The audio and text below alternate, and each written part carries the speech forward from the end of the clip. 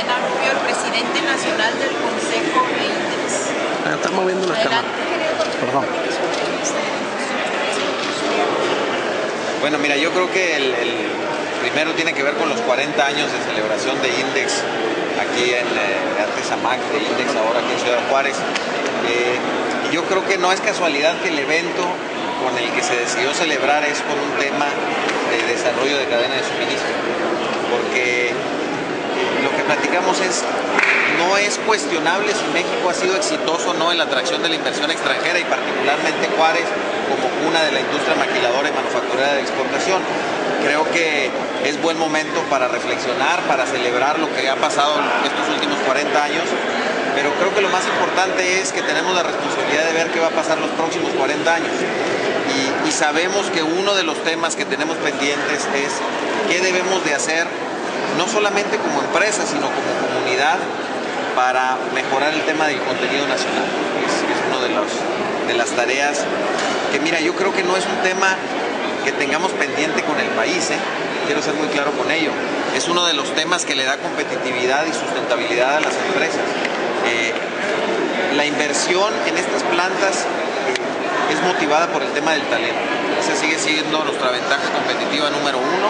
La gente, gente que ya sabe eh, trabajar en la industria, no como hace, no como en 1969 con, con RCA empezando a, a instalar esta eh, cultura industrial en la ciudad, sino ya con gente muy preparada, eh, la ubicación geográfica también. Pero lo que le da raíces a las operaciones es la cadena de suministro. Juárez tiene una cosa que es una ventaja también, pero una desventaja al mismo tiempo, que es que estamos tan cerca de Estados Unidos que es muy competitivo también para importar materia prima. Pero sabemos que si la tenemos aquí enseguida, eh, las plantas tienen mayor sustentabilidad. Entonces, eh, es por eso que el giro que le da Claudia como presidenta de Index en Juárez a este aniversario de los 40 años es tratando de impulsar el tema de la cadena de suministro. Hablando de esta cadena de suministro, ¿sabe algo eh, cómo aumentar esa proveeduría nacional? ¿Tiene planeado algo? ¿Cómo ir aumentándolo? Porque es un tema que de años y años no se ha logrado aumentar mucho. ¿Qué, expectativa hay al respecto? Pues mira, lo que estamos haciendo es tratando de probar cosas distintas. ¿eh? Yo creo que la cadena de suministro no se puede resolver con una sola acción. Eh, nosotros estamos queriendo jugar una parte de las acciones necesarias para mejorar el tema de cadena de suministro, que es el tema de vinculación. Ahí es donde nosotros vemos como Index que, que podemos tener una influencia mucho más directa. Es, ya existen empresas en México que son buenos proveedores. El tema muchas veces es que no se han acercado con otros compradores potenciales que existen en el país. El trabajo que nosotros estamos haciendo es el de vinculación. Hay otras cosas que tenemos que seguir trabajando para que la cadena de suministro tenga posibilidades de mejorar. Ya no digo como Index, sino como país.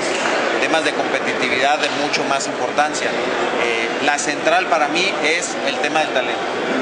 En la medida que nosotros convirtamos la preparación de gente, sobre todo en los oficios técnicos que necesita la industria y que necesitan los proveedores de esta industria, es el éxito que vamos a tener en aumentar la cadena de suministro. La preparación de gente en oficios industriales modernos con tecnología actual creo que es el reto más importante que tenemos como país para mejorar la competitividad.